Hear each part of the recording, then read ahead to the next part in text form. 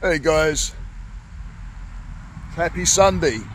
So it's not Friday because I know I don't want anybody getting confused thinking it's Friday. It's Sunday, uh, and I'm using my tools, practicing what I preach. Felt a little some anxiety coming on a little bit, and my head was starting to starting to think. So. Uh, to get on top of that, I'm back up outside of my where my this fountain is. Turn the camera around. Just up there's a main main stretch of road right there, so that's with traffic you can hear. But I'm just up by the fountain, listening to the water, tuning in, and uh, on the walk up here, I just started to think of you know, like what, where's where's it coming from? And uh, I don't know. I started getting caught up with bits of news that kept showing up on my phone. I've got to shut that down because uh, news news keep flashing up about different things. You might not even be into it, like stocks and I haven't I haven't I haven't got no stocks.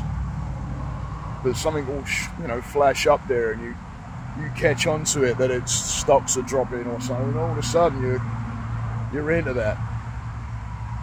And uh, you know, things have been popping up about a recession and stuff like that, and found myself starting to get into that a little bit mentally, thinking. And then uh, when I came out, I thought there's nothing I can do about it whatsoever. I've never had a stock in my life and there's absolutely nothing I can do with what may go on apart from do my bit. And then I started thinking on the walk up here where I'm at now of where I came from. Because my mind, as soon as I switched my mind into a positive area, things started to come through saying, You'll survive, you'll be fine, and we'll all be fine because I think we we forget of where we're where we've come from. You know, I uh, I'm a guy from London, southeast London. Never dreamt I'll be in a position that I'm in right now, and the and the and the and the life that I'm having, and yet I moan. Um, you know, I'm a human as well. I keep the positive mind but you know, I still get into the technology and the you know the the internet will go down and what are we doing? Why ain't the internet working? Or, you know, all of a sudden you can't use your cell phone and we start bitching and moaning that our cell phone's gone down. Well, you know what? Maybe that's a message. Start tuning in and put the cell phone down and switch the TV off. We always want more. Why do we want more? You know, I know technology kind of takes off and it'll always be in front of us. But why do we always want more? Why do we always want the next best thing? Why do we always want the TV that's bigger? And, you know, I'm just as much to blame for any of this. Because it's, it's, you know, what's it covering up? What's it trying to prove? If we really sit there and think, what are we trying to, what is it is doing? You know, it, it's, the happiness is not long lived. You know, you may get that big screen TV and get it up on the wall, and then all of a sudden it's like, wow, you can tell it's bigger. But you know, give it a month. I've done this myself. Give it a month and look at it. It looks like just like the TV you had before that and the one before that, and then you want the bigger one. It's like crazy. It's like, you know, am I trying to keep up with something or? So it's time to, you know, think of where you come from, what you've survived. You know, when I first came to the United States, I was 26 years old. I got here five days later, my dad passed. But you know what? My wife, well, girlfriend then, but my wife was right there, solid. And we didn't have anything. We had a little apartment. We used to celebrate if we got chicken because we could we couldn't afford it. We didn't we didn't have the money, but we survived. We did it. you know, and, and, and I we get so I get so wrapped up in I think it's the letting go of what I you know what you have and and you know if you've got an abundance, you know, I, as long as you've got people around you, as long as you've got people there, you know, it, it, it's it's people coming together. It's not about being an individual and trying to want more and be better and bigger and it's about everybody being this one people and loving each other and not trying to compete with anybody and compare yourself with anybody else because that's when the mind goes in the wrong direction.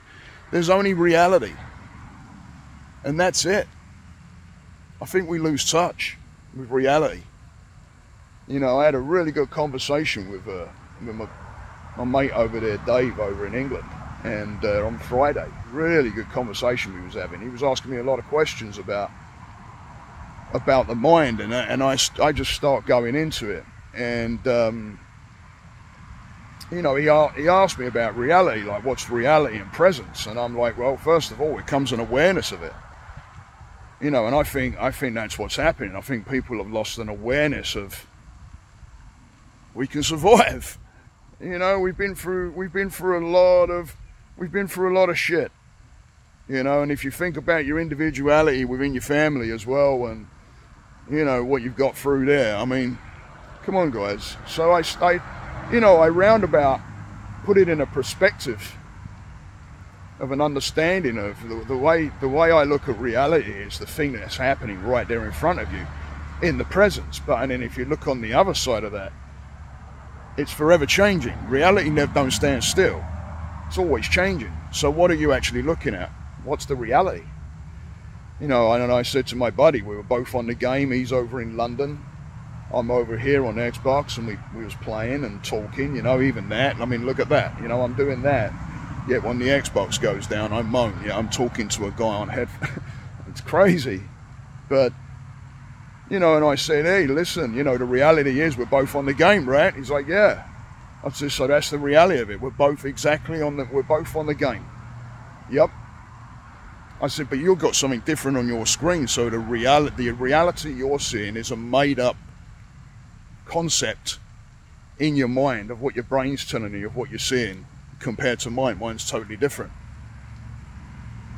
I'm thinking differently because I have something completely different on my screen and my brain is connecting into same reality. We're both playing the same game. and then you start to think. And it starts to bring you down to earth a little bit. And then that's what brings me back. And then coming up here and just getting in touch a little bit. So stay the course, guys. Don't give up on yourselves. Think. Think of where you come from.